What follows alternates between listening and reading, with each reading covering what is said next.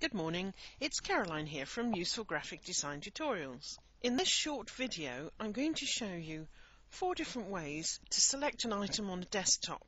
Now a couple of them you will already know, we have covered these before, but there are uh, another couple which, uh, well hopefully you will find useful. Let's, let's just start by drawing a circle. A perfect circle, so I'm going to hold down the control. The first way to select that circle is to simply go up to the select tool and there you go it is selected.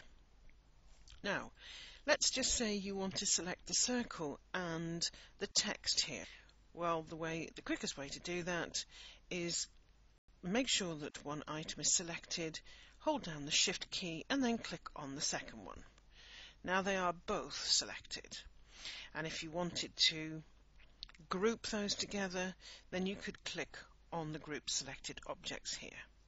And now those are grouped. Well, we don't want to do that. Let, let's just undo that. Another way to select both of those items together is literally to go up here to the select all tool and now they're both selected again you can group those in the same way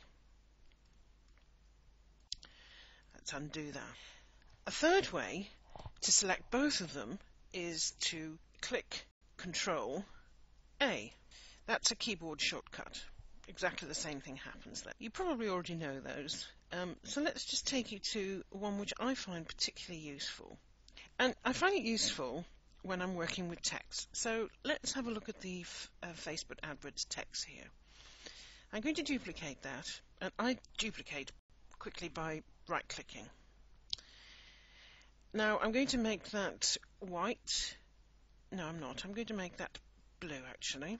And then I'm going to remove that one step down to bring the black to the forefront. I'm going to use the keyboard shortcut key, uh, sorry, the keyboard arrow keys just to give a three dimensions there. Now let's say I want to select all of those, but I actually don't, I, I, want to select both of those, but I don't want to select the circle, i.e.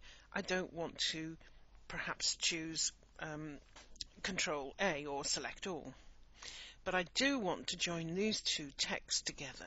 The quickest way that I find to do that and the easiest way is to draw a rubber band or drag a rubber band if you like around those two items and simply hold down the left mouse and draw a square around that and those now are both selected. Let's say I want to go up to group then I can move these around very easily with no bother at all. So that's the easiest way that I find to select with items which are very close to each other or indeed on top of each other and I hope you have found that helpful. If you've got any questions or comments about the video please come and visit us on our Facebook fan page. You can find us at the address shown now on the screen. But that's all for this video. We look forward to seeing you in the next one, and until then, goodbye.